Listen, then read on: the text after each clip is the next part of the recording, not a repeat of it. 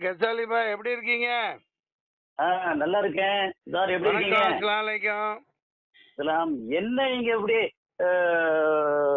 அதாவது ஒரு திரைத்துறையில இருந்துட்டு இவ்வளவு ஜாம்பானா இருந்துட்டு ஒண்ணுமே நான் குரல் கொடுத்துக்கிட்டே தாங்க இருக்கிறேன். வேற எந்த எந்த உருப்படியும் பேச மாட்டேங்குதுங்களேங்க. ஏங்க தியேட்டர் திறக்க வேணாமா? படங்கள் எல்லாம் ஊர்கா போட்டு வச்சுக்கிட்டு இருக்கிறானுங்க. அப்புறம் ஆயிரத்தெட்டு கண்டிஷன் போட்டு ஏதோ பார்த்தேன் நேற்று டிவியில வயிற்றுச்சலா இருக்கு? அதெல்லாம் நீங்க பேசுவீங்க படம் எடுத்த ப்ரொடியூசரு டைரக்டரு இப்ப நான் வந்து என்னோட ஷூட்டிங் ஆரம்பிக்கணும் அந்த ஆ, ஷூட்டிங் ஆரம்பிச்சு எடுத்த படத்தெல்லாம் ஊர்கா போட்டு வச்சுக்கிட்டு நக்கிறதா. ஏங்க தியேட்டருக்கு மக்கள் வரலாம் அப்படின்னா உள்ள போனா அந்த ஆ. துப்பாக்கியை வச்சு நெஞ்சில சுடுற மாதிரி பொம்பளைகளை குழந்தைகளை அவன் டெம்பரேச்சர் பாக்குறான். அவன் என்ன டாக்டரா முட்டாப்பாய் மோனுக்கு அறிவு இருக்கா அவனுக்கு கைக்கு கிளவுஸ். போட்டுக்கணும் வாய்க்கு மூட ஒரு துணி சாமானம் அப்புறம் மண்டைக்கு ஹெல்மெட் போட சொல்லுவானுங்க. சோப்பு தண்ணியில கைய கழுவு. அது என்ன சானிடைசரு அதுல கைய கழுவு. அப்புறம் என்னடானாக்க இப்போ உள்ள போன உடனே ஜனகணமன் அதுக்கு எந்திரிச்சு நில்லு. படம் பார்க்க மகிழ்ச்சியா வர குடும்பத்தோட வருவானுங்களா? இல்ல அவன் கூப்பிட்டுக்கிட்டு பத்து அடி தள்ளி நின்று உட்கார வர்றானுங்களா? அவன் வரவே மாட்டானே இல்லாத கம்முனாட்டிங்க அறிவு கட்ட ஜீவிகளா இருக்கானுங்களே. நம்ம திரைத்துறையில இருந்து நம்ம சினிமால இருந்து யாருமே குரல் கொடுக்க மாட்டாங்களே எல்லாம் சம்பாரிச்சு உட்கார்ந்து இருக்காங்களா பல்ல லட்சக்கணக்கான தொழிலாளிங்க பாடு என்ன வருது ஏங்க நமக்கே எவ்வளவு கஷ்டமா இருக்குங்க? ஏழு மாசம் ஆகுது இப்போ. ஒரு இதுவும் இல்லாம தியேட்டர் திறக்காம. இல்ல இப்போ கொரோனாங்கிறது ஒரு பக்கம் முன்னாடி பயம் வெண்டைக்காய் இருந்துச்சு கிடையாதுங்க. நான் தான் ஆணித்தரமா சொல்றேனுங்க. டபிள்யூஹெச்ஓ இன்டர்நேஷனல் சில இழுவு நாட்டிய திட்டம் போட்டு பண்ண சதி இது. ஆட்டோமேட்டிக்கா மக்களை சாவடிக்கிறதோட சதி இது. அதன் வெளிப்பாடு இது. புரியுதுங்களா? இப்போ பல இதுல வாட்ஸ்அப்ல எல்லாம் வந்துச்சு இப்ப இட்டாலியில அந்த பாடியை இது பண்ணிருக்காங்க. அந்த வைரஸே ஆ. இல்லையா? கொரோனால செத்த பாடியை வந்து செக் பண்ணி இது பண்ணிருக்காங்க அது என்ன? போஸ்ட்மார்ட்டம் பண்ணி ஃபுல்லா அதை ஆய்வுக்கு உட்படுத்திருக்காங்க பாடியை. அப்படி ஒரு வைரஸ் இல்ல ஒரு வெங்காயம் இல்லைன்ட்டாங்க. இவன் லட்ச லட்சம் கோடி இவன் கொடுக்கிற மருந்தை சாப்பிடணும் இவன் கொடுக்கிற இதை பண்ணணும். அதுல பல நாடுகள்ல இவனும் திருட்டுத்தனமா இந்த அயோக்கிய பயல்களும் இந்தியா ஆடுறவனும் சேர்ந்துருக்காங்க. எல்லாம் இதை வச்சு. சாப்பிட்டுட்டு மக்களை சாவடிக்கிறான் விவசாயிகளை சாவடிக்கிறான். ஏங்க சினிமாவெல்லாம் திறந்து வருமானமே இல்லாம இருக்கே மக்கள் எங்க இருந்து படம் பார்க்கவும் வருவான். அது ஒண்ணு இருக்கு. அப்படி இருக்கையில இவ்வளவு சட்டம் போட்டா எப்படி நீங்க படத்தை எடுத்து ஷூட்டிங் போறீங்க ஆ? அது- நாளைக்கு எப்படி அதான் release தெரியல பண்ணுவீங்க?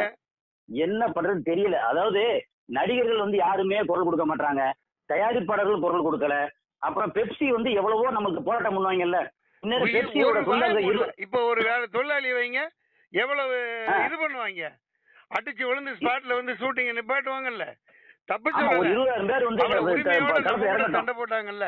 இப்ப அரசாங்கத்து கூட ஏன் சண்டை போட மாட்டேங்கிறாங்க? பெப்சி தொழிலாளி எல்லாம் என்ன நாங்க லட்சக்கணக்கான பேரு? சும்மா எப்பயோ ஆயிரம் ரெண்டாயிரம் கொடுத்துட்டா அவங்களுக்கு போதுமா? இல்லை இது ஒண்ணும் புரியல. அதாவது இது யாருக்காக யாரு குரல் கொடுக்கறது? செல்லுமணி புரியல. மாட்டேங்கிறாங்க. என்ன நடக்குன்னே தெரியல. கேவலமா இருக்கு. அதாவது எல்லா வேலையும் நடக்கலைன்னா பரவாயில்ல. இப்ப. பாருங்க அந்த ஊபியில அவ்வளவு பெரிய கொலைபாதகம் கற்பழிச்சு கொண்டுட்டான் அவனுக்கு. ஆதரவா கர்ணி சேவா அது இதுன்னு ஏதோ பஞ்சாயத்து கூடுறான் அவன் வாயில எல்லாம். ஒரு துணியும் கிடையாது. பாத்தீங்கல்ல வாட்ஸ்அப் பஸ்ல நம்ம பஸ்ல எல்லாம் நெட்டி முண்டிக்கிட்டு தான் போறாங்க. அதெல்லாம் ஒண்ணு. கொரோனா வரல பஜாரு அங்க இங்க எல்லாம். தியேட்டருக்காரனா இழிச்ச வேணா சினிமாக்காரனா முட்டாளுங்களா ஒரே ஒரு குரல் கொடுக்க மாட்டாங்கன்ற அவங்க வந்து என்ன ஒரு எலும்பு இல்லாதவங்க முதுகெலும்பு இல்லாதவங்க பயம் அவனுக்கு. என்ன நடக்குதுன்னே தெரியலையே. நீங்க பல. இதுக்கு வந்து கவுன்சில்ல கத்துவீங்க. அதான். நானும் பேசிக்கிட்டே இருக்கேன் பல பேர்கிட்ட. ஒரு வெங்காயம் உரிக்கிறதுக்கு லாயக்கு இல்ல. ஏய் எலெக்ஷனை பத்தி பேசிட்டு இருக்காங்க. வர்ற எலெக்ஷன் அப்படியே கொண்டு போய் கொண்டு போய்? பள்ளிக்கூடம் நீங்க- திறக்கல. ஏங்க குழந்தைகளை எல்லாம் கெடுத்து குட்டிச்சோர் ஆயிட்டாங்க இந்த கமநாட்டிங்க இந்த திருட்டு என்ன வருது? கெட்ட வார்த்தையா வருது? கூடாதுன்னு அது இல்ல. இல்லைங்க. ரத்தம் கொதிக்குதுங்க. மத்தியில ஆடுற இந்த மட சாம்பிராணிகளை சொல்றேங்க. இப்ப ஆன்லைன் கிளாஸுங்கிறாங்க. எனக்கு அதிக குழந்தைங்க. உங்களுக்கு தெரியும்.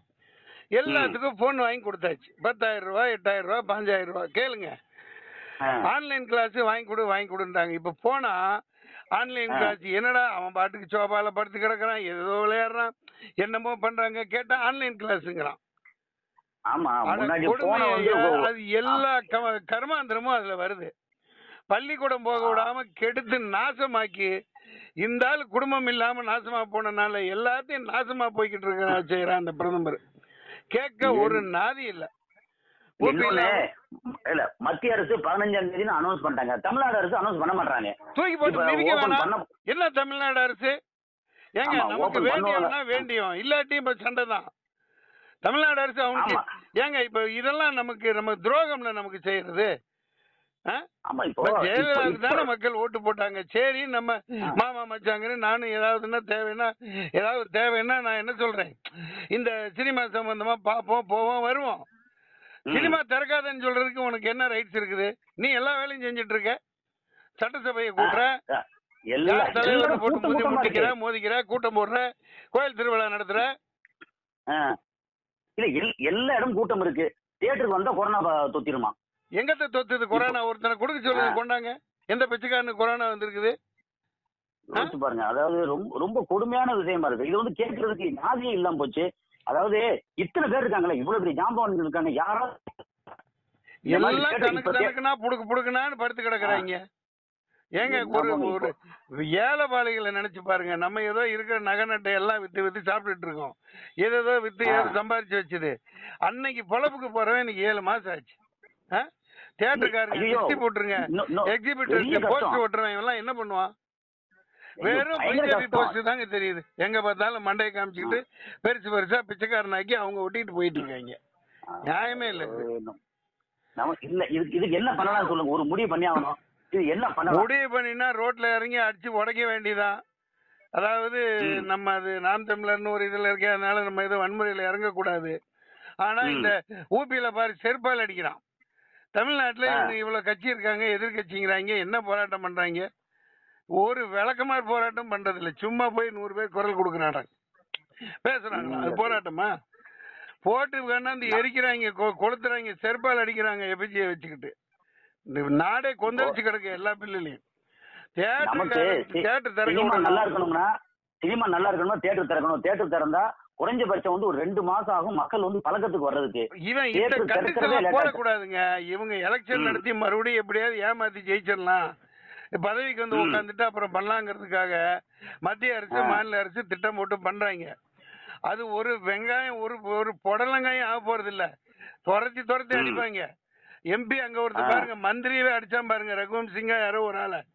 சட்டையை கிழிச்சு. வேட்டையை கிழிச்சு செருப்பால் அடிக்கிறாங்க அதே நிலவரம் இங்க வரும் வரும் வேற வழி இல்ல பசியில இருக்காங்க மக்கள் உண்மையில பசியில இருக்காங்க எல்லாம் இந்திக்காரனை.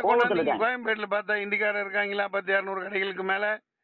கட்டுமானத்துல எல்லாம் இந்திக்காரங்க ஆபீசர்ஸ். எல்லாம் போலீஸ் ஹை ஆபீசர்ஸ் எல்லாம் எஸ்பி டிஎஸ்பி அவன் இவனு எல்லாம் இந்திக்காரன் இறங்கியிருக்கான். இல்ல இதெல்லாம் துரத்தி விடிய. நைட்டோட. நைட்டா துரத்த வைக்க போறோம் பாருங்க. இதெல்லாம் வேலைக்கு ஆகாது நீங்க தமிழன் முதல்ல- சொல்றீங்க. நீங்க போராட்டம் பண்ண மாட்டேங்கிறீங்க. நம்ம இல்ல காமனா வந்து முதல்ல வந்து சினிமாவை சரி பண்றதுக்கு தியேட்டர் திறக்கிறதுக்கு போராட்டம் பண்ணி ஆகணும். என்ன செய்யலாம் சொல்லுங்க ஏங்க போராட்டம்னா போராட்டம் பண்ணி தான் ஆகணும் நம்ம பொழப்பு தான் வயிற்றுப்பாடு நீ ஒண்ணு. எல்லாத்தையும் நிப்பாட்டு டாஸ்மாக நிப்பாட்டு ஆ. சட்டசபை திறக்காத வீட்டுக்கு போகாத தர்ணா பண்ணு எல்லா சினிமாக்காரனும் வா கைது பண்ணா பண்ணட்டும். சோறு சாப்பாடு அவன் தான் போட போறான் ஒரு முப்பதாயிரம் பேர் நாற்பதாயிரம் பேர் வந்து நாற்பதாயிரம் பேர். இருபது லட்சம் பேர் இருக்குங்க இன்னைக்கு தமிழ்நாட்டுல.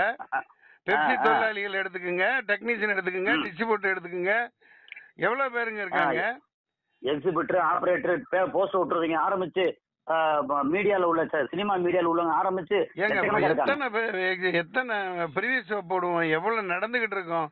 பேப்பர்ல மட்டும் போடுறாங்க. அவர் கதை இருந்தா இவர் கதை இருந்தா இவர் பண்றாரு இந்த மாதிரி நடிக்க போறார். இந்த அவர் நடிக்க போறார். நடிச்சு இவங்க என்னத்த பண்ண போறாங்க? உண்மையான பிரச்சனைக்கு. சால்வ் பண்ண முடியல. ஓட்டில பண்ணா ஓட்டிக்காரனை முதல்ல உதைக்கணும். அந்த பெரிய படம் தான் ரிலீஸ் பண்ணுவானா. அப்புறம் என்ன ஆமா, மற்றபடி மத்த படத்தை வாங்க மாட்டானே. வாங்காட்டி தூக்கி போட்டு மீதி ஆபீஸ் எங்க இருக்குன்னு சொல்லுங்க நான் போய் உதைக்கிறேன். இதுக்கு மேல எல்லாம் பொறுமை கிடையாது. வாழ்வா. சாவா பிரச்சனை அவ்வளவுதான். நீங்க எல்லாத்தையும் கூப்பிடுங்க. எல்லா ப்ரொடியூசரையும். கூப்பிடுங்க? எல்லா ப்ரொடியூசரே பெப்சில வந்து அவர் ஆர்கே சொல்லும் என்ன பண்றாரு? தானு சார் என்ன பண்றாரு? இவர் ராதாகிருஷ்ணன். சார்லாம் என்ன பண்ணிட்டு இருக்காங்க? நான் ஒதுங்கிட்டேன். நான் ப்ரொடியூசரே வந்து வேணாம். நடிகனா இருந்துட்டு போன்னு நடிச்சு ஏழு எட்டு படம் நடிச்சிட்டு இருந்தேன். அது ம். கல் வெண்ணெய் ரெண்டு வரையில தாலி உடைஞ்ச மாதிரி இப்படி பண்றானுங்க. எனக்கு அதை பத்தி கவலை இல்ல. நான் எது ஒண்ணும் செஞ்சு. பொழைச்சுக்குவேன். சும்மா இல்ல. இல்ல இது எல்லாருக்குமான விஷயம் தானே. நமக்கு அது தனிப்பட்டது இல்ல. இந்த எல்லாருக்குமான ஒன்றரை கோடி. போச்சு பையன் படம். இன்னும் ரிலீஸ் பண்ண முடியல. இப்ப. எதுல பண்றது நானு? சரி வைங்க இந்த போன் அவ்வளவுதான். மேல போனா வருது. சரி சரி சரி ஏதாவது செய்யுங்க. ரெண்டு. நாள்ல கூப்பிடுங்க. கண்டிப்பா. செய்வோம் கண்டிப்பா ஒரு வழி கண்டுபிடிக்க நாம சொல்லிட்டேன்